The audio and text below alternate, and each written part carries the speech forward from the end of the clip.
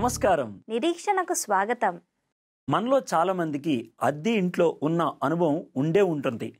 తలదాచుకోవడానికి మన నెత్తిన కప్పు ఉండటం అనేది ఆశీర్వాదమే అయినప్పటికీ కొన్నిసార్లు అద్దె ఇంట్లో ఉండటం అనేది ఒక సవాలుతో కూడిన విషయం. అవును.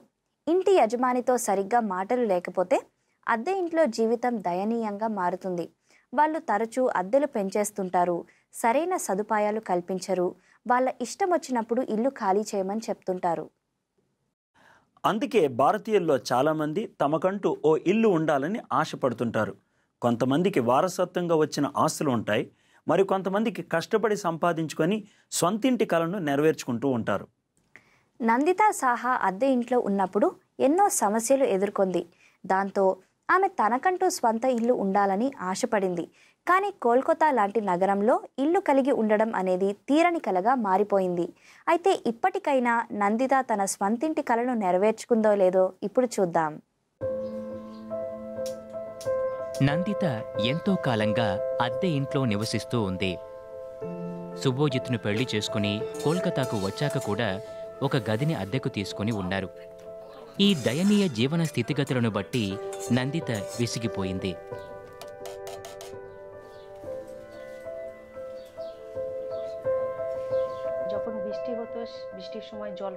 వర్షాకాలంలో నీళ్ళు ఇంట్లోకి వచ్చేవి. టాయిలెట్ బయట ఉండేది. దాని మీద కప్పు సరిగా ఉండేది కాదు. నీళ్ళు కారి లోపలికి వస్తూ ఉంటాయి. నీటి సౌకర్యం లేదు. ఖిదూర్పూర్లో మేం చాలా ఇబ్బందులు పడ్డాం. మా పైన ఉన్నవారు మా వరండాలోకి నీళ్ళు విసిరేవారు. మా ఓనర్ వెళ్ళి వాళ్ళతో గొడవ పడేవాడు. ఒకరోజు ఎక్కువ సమయం ఇవ్వకుండానే ఆ అద్దె ఇంటిని ఖాళీ చేయాల్సిందిగా వారికి చెప్పారు. మాకు స్థలం ఎక్కడ దొరుకుతుంది? ఎక్కడ ఉండాలి అని ఆలోచిస్తూ ఉండేవాణ్ణి. ఆ సమయంలో మా కొడుకు పరీక్షలు రాస్తున్నాడు. ఏం చేయాలో అర్థం కాలేదు. నందిత తనకంటూ ఒక స్వంత ఇల్లు ఉండాలని ఎంతో ఆశపడింది. అయితే కోల్కతా లాంటి నగరంలో స్వంత ఇల్లు అనేది తీరని కల. అయితే ఎంతో కాలంగా నందిత అనుసరిస్తూ వస్తున్న యేసుక్రీస్తుకు అది అసాధ్యం కాదు.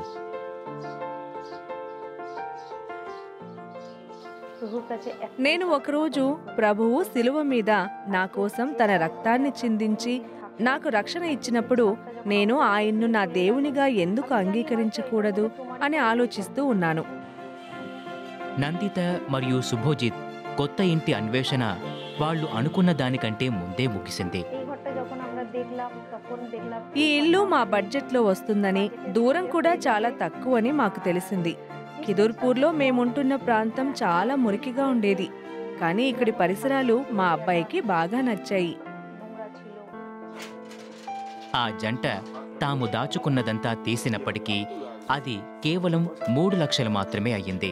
వాళ్ళు కొనాలనుకుంటున్న ఇంటికి అది ఏమాత్రం సరిపోక నందిత తన బంగారాన్ని అమ్మాల్సి వచ్చింది.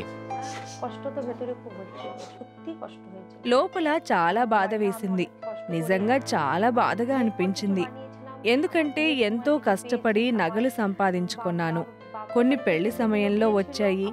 నా పుట్టింటి నుండి తెచ్చుకున్నవన్నీ ఇచ్చివేయాల్సి వచ్చింది. మా అబ్బాయికి వాళ్ళ తాత ఇచ్చిన చైన్ కూడా అందులో ఉంది. నా బంగారం అంతా నా భర్త చేతిలో పెట్టాను. వాళ్ళకు మరో రెండున్నర లక్షలు సమకూరింది. సుభోజిత్ లోన్ కోసం బ్యాంకును ఆశ్రయించాడు. అయితే తనది ప్రైవేటు ఉద్యోగం కావడంతో లోన్ రాలేదు. సహాయం చేయమని వాళ్ళు యేసుక్రీస్తును వేడుకున్నారు. నేను ఇరవై మూడవ కీర్తన గుర్తు చేసుకున్నాను. నేను ప్రతిసారి దాన్ని చదివి నా భర్తతో యహోవా నా కాపరి నాకు లేమి కలగదు అని చెప్పేదాన్ని. ఎందుకంటే ప్రభువు నిజంగా మా కాపరి. కాబట్టి నాకు ఏ కొదువ ఉండదు. ఆయన వాగ్దానం చేశాడు కాబట్టి తప్పక సమకూరుస్తాడు. సుభోజిత్ ప్రార్థన చేసుకుని తన యజమాని దగ్గరకు వెళ్ళినప్పుడు అతనికి మార్గం కనబడింది. అతని యజమాని మూడు లక్షలు అప్పు ఇవ్వడానికి ఒప్పుకున్నాడు.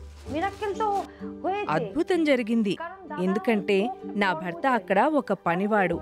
ఆయనేమో ఓనర్. అలాంటిది వడ్డీ లేకుండా మూడు లక్షలు ఇవ్వడం అంటే అద్భుతం కాకపోతే మరేంటి? అయితే ఇది కూడా ఇల్లు కొనడానికి సరిపోదు. వాళ్ళకు మరో మూడున్నర లక్షలు కావాలి. అప్పుడు వాళ్ళు ఊహించని విధంగా లోన్ ఇవ్వడానికి అంగీకరించని బ్యాంకు వాళ్ళు లోన్ ఇచ్చారు. దేవుడు ఈ అద్భుతాన్ని ఎలా చేశాడో నాకు తెలియదు. ఆయన మాకు ఒక సంవత్సరం నుండి తెలుసు. మాకు సహాయం చేయడానికి ముందుకొచ్చాడు. ఆయన కొంత డబ్బు ఇవ్వడంతో మేము ఏదో ఒక విధంగా సర్దుబాటు చేసుకోగలిగాం. శుభోజిత్ స్నేహితులు చెరో లక్ష ఇచ్చారు. ఇంటి రిజిస్ట్రేషన్ రోజున మరో అద్భుతం జరిగింది. మేము ప్రార్థన చేసి సమస్తాన్ని దేవుని చేతికి అప్పగించాం. అక్కడ మరో అద్భుతం జరిగింది. దేవుడు లాయర్తో మాట్లాడాడు. దాంతో ఆయన మా దగ్గర ఒక్క పైసా తీసుకోకుండా మాకు రిజిస్ట్రేషన్ చేసి పెట్టాడు. చివరకు రెండు వేల పదహారు ఫిబ్రవరి పదవ తేదీన నందిత మరియు సుభోజిత్ తమ పద్నాలుగేళ్ళ అభిజిత్తో తమ కొత్త ఇంట్లోకి అడుగుపెట్టారు. కోల్కతా లాంటి నగరంలో మాకంటూ ఒక ఇల్లు ఉంటుందని నేను ఎన్నడూ అనుకోలేదు. ఈ కొత్త ఇంటిని బట్టి నేను యేసు ప్రభువుకు ధన్యవాదాలు తెలుపుకుంటున్నాను. ఆయనే గనక లేకపోతే మాకు ఈ ఇల్లు ఉండేది కాదు. ఈ ఇంటిని మేము ప్రభువుకు అర్పిస్తున్నాం. ప్రభువా ఇది మీ ఇల్లు. మీ స్థుతి మరియు మహిమ ఈ ఇంటిలో ఉండాలి. మీరే ఈ ఇంటికి యజమాని. ఈ ఇంటిని మీరు కాపాడండి. మమ్మల్ని నడిపించండి. ఈ ఇంటిని మీరే మాకిచ్చారు. దేవుడు సృష్టిలో సమస్తాన్ని సృజించినప్పటికీ మన చిన్న చిన్న కోరికల పట్ల కూడా శ్రద్ధ కలిగి ఉన్నాడు. ఆయన మన హృదయ వాంఛలను తీరుస్తాడు. దేవుడు మనల్ని బాగా ప్రేమించేటువంటి వాడు.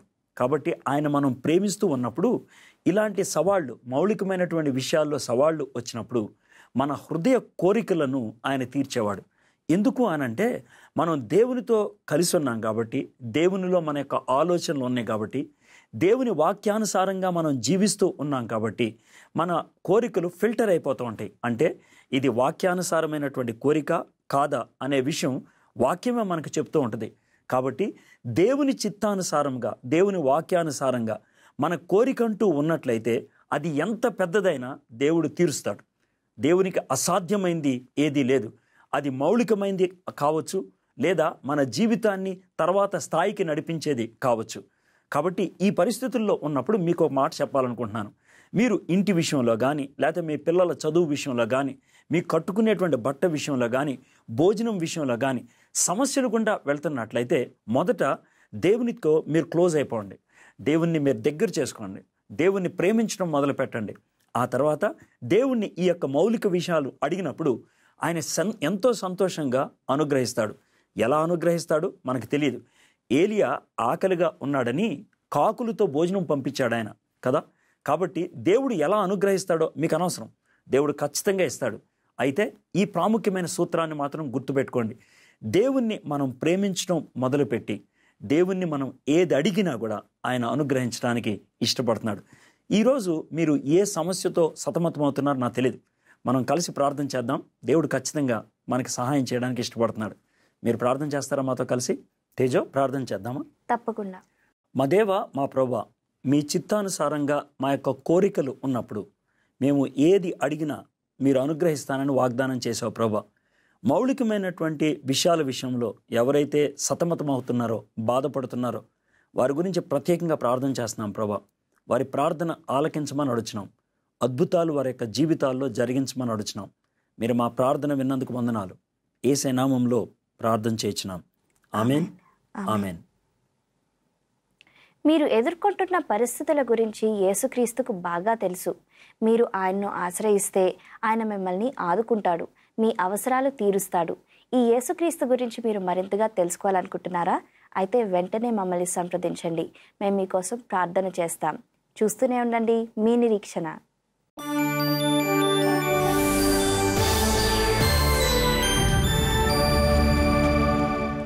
Welcome back. సిబిఎన్ దశాబ్దానికి పైగా విద్యాజ్యోతి కేంద్రాల ద్వారా వెనుకబడిన వర్గాలకు చెందిన పిల్లలను ఆదుకుంటోంది. భర్త లేకపోవడంతో రూప తన పిల్లలకు కనీస విద్య అందించడానికి ఎంతో ఇబ్బంది పడుతూ ఉండేది. అలాంటి పరిస్థితుల్లో సిబిఎన్ ఆమెకు ఎలా సహాయపడిందో ఇప్పుడు చూద్దాం. రూప మరియు ఆమె భర్త శంకర్ వీధిలో సర్కస్ చేస్తూ ఉంటారు. జీవనోపాధి కోసం వాళ్ళు తమ ముగ్గురు పిల్లలతో ఓ గ్రామం నుండి మరో గ్రామానికి వెళ్తూ ఉంటారు. అయినా వారి సంపాదన సరిపోయేది కాదు. చేసిన అప్పులు తీర్చలేక శంకర్ రెండు వేల పదకొండులో ఆత్మహత్య చేసుకున్నాడు. మా ఆయన చచ్చిపోయినాక సార్ మాకు ఏమి లేదు తినడానికి ఏం లేకుండే. బియ్యం కూడా పైసలు కూడా ఏం లేకుండే. అది కానీ మా పిల్లలు మేము ఎప్పుడు సర్కస్ ఆట ఆటలం కదా. ఇక మేము మా పిల్లలు మేము ఇంటింటికి ఆడుకున్నాం అన్నం కూర. అయ్యో పాప అని అందరూ బట్టలు ఇష్టలు మాకు. అట్లా అట్లా ఆడినప్పుడు బాగా బాధ అనిపించేది. ఈ డమ్మర్ గడ్డలు వేసి నడుము పట్టుకుంటుంది దెబ్బలు తగులుతాయి. అమ్మ నేను బయటికి పోతుంటే వద్దు ఇప్పుడు మనం ఆటలు ఆడుతున్నాం పైసలు లేక అంటది. రూప తన ముగ్గురు పిల్లలతో మరో ప్రాంతానికి వెళ్ళింది. అక్కడ స్థానిక పాస్టర్ వారిని కలుసుకుని చర్చికి ఆహ్వానించాడు. మా తల్లిగారి ఇంటికాడ వచ్చి నేను ఇక ఇక్కడ లూకా పాస్టర్ అనే చర్చి లూకా పాస్టర్ అనే చర్చి ఉండే ఆ చర్చి కాడ వెళ్ళేది నా పిల్లలు పట్టుకొని నేను. తిరిగేది ఆ దేవుని ద్వారా ఇంతవరకు మా పిల్లలు నేను చర్చికి పోయేది ప్రార్థన చేసుకొని వచ్చేది ఏ కష్టాలైనా మాకు దేవుడు ఎంతో సాయం చేస్తున్నాడు. పిల్లల భవిష్యత్తు కోసం రూప వారిని తిరిగి ప్రభుత్వ పాఠశాలలో చేర్పించింది. అయితే వాళ్ళకు కావలసిన యూనిఫామ్స్ మరియు ఇతర వస్తువులు కొనలేకపోయింది. అలా తండ్రి గిట్ట ఉంటే కొనిద్దేమో అది ఎంత బా బాధపడేది? ఎవరి తల్లిదండ్రులు కొనిచ్చి పోతుంటే నా పిల్లలు? ఎంతో బాధపడేది? అయ్యో దేవుడు సహాయం చేయడం మాకేదైనా నా పిల్లల్ని పోషించే అంత దేవుడు ఉన్నాడు కదా. ఎదరలు పచ్చని ఉండే తండ్రి ఏదైనా సహాయం చేస్తాడులే అనుకొని ఉండేది. మాకు బుక్కులు బ్యాగులు పెన్నులు మాకు కూడా ఉంటే మాకు ఎంత సంతోషం దాన్ని అని ప్రార్థన చేస్తుంది రూప ప్రార్థనకు జవాబుగా సిబిఎన్ ఆమె ఉండే ప్రాంతంలో సాయంకాలపు బడి ఆరంభించింది. అక్కడ తమకు అవసరమైన సహాయాన్ని పొందడంతో రవి మరియు అతని ఇద్దరు తోబుట్టువులు ఎంతో సంతోషించారు. నేనేం కోరుకున్నానో నా పిల్లలకి ఏం కావాలో అది దేవుడు మా పిల్లలకి ఇచ్చిన ఇచ్చినాడు సేవన్ ద్వారా. ఆ పిల్లలు ఎంతో సంతోషం. అమ్మ నాకు నువ్వు ఇవ్వకున్నా సరే కానీ మాకు పలాను ద్వారా మాకు సిబిఐను ద్వారా మాకు బట్టలు బుక్లు అవి నాకు ఇచ్చిరు అని పిల్లలు ఎంతో సంతోషం ఎంతో ఆనందం పడ్డారు. బాగా చదువుకొని ఏమైనా ఉద్యోగం చేసి అమ్మను చెల్లెను తమ్ముడిని నేను చూసుకుంటా కాపాడుకుంటా. రూప తన పిల్లల్ని చక్కగా పోషించుకునేందుకు వీలుగా సిబిఎన్ ఆమెకు పాడి గేదెను అందజేసింది. అది మూడు లీటర్లు పాలు ఇస్తుంది మాకు.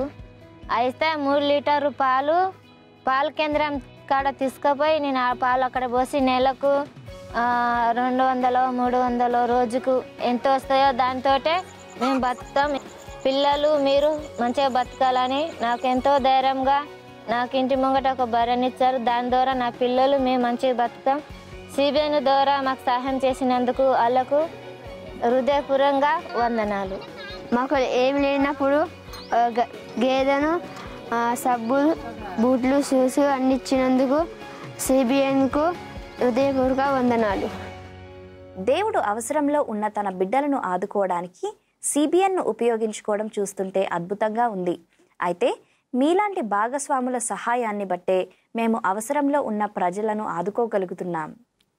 కాబట్టి మీ సహాయాన్ని కొనసాగించండి. రూపా లాంటి అనేక కుటుంబాల్ని ఆదుకోవడానికి సహకరించండి. మేము అందిస్తున్న వివిధ సేవల గురించి తెలుసుకోవడానికి వెంటనే మమ్మలను సంప్రదించండి.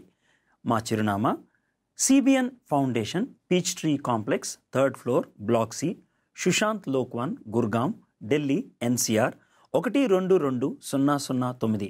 మా website W W W dot CBN dot in మనం ఈ భూమి మీద ఉన్నప్పుడు మనందరికీ ఈ భూ సంబంధ ఆశలు అవసరాలు ఉంటాయి. దేవుడు తన ప్రేమను బట్టి మన అవసరాలన్నీ తీరుస్తాడు. అయితే ఇవన్నీ తాత్కాలికమని త్వరలోనే గతించిపోతాయని మనం గుర్తుపెట్టుకోవాలి. అయితే యేసుక్రీస్తు నా తండ్రి ఇంట అనేక నివాసములు కలవు. లేని ఎడల మీతో చెప్పుదును. మీకు స్థలము సిద్ధపరచ వెళుచున్నాను అని చెప్పాడు. మనము దేవుని రాజ్యాన్ని మొదటిగా వెతికినట్లయితే ఈ లోకంలో అన్ని కూడా దేవుడు అనుగ్రహిస్తానని వాగ్దానం చేశాడు. కాబట్టి మన యొక్క ఆలోచనలు మన యొక్క ప్రార్థనలు మన యొక్క కోరికలు దైవికమై ఉండటం నేర్చుకోవాలి. ఈ విషయంలో మీకు ఏదైనా ప్రార్థన అవసరత ఉన్నట్లయితే మాకు ఫోన్ చేయండి. మీకోసం మేము ప్రార్థన చేస్తాం. ఈ కార్యక్రమం మీకు ఆశీర్వాదకరంగా ఉందా? అయితే మీ స్నేహితులు మరియు బంధువులకు ఈ కార్యక్రమం గురించి చెప్పడం మర్చిపోవద్దు. తిరిగి మరో ఎపిసోడ్లో మళ్ళీ కలుసుకుందాం. దేవుడు మనందరికీ తోడై ఉండను గాక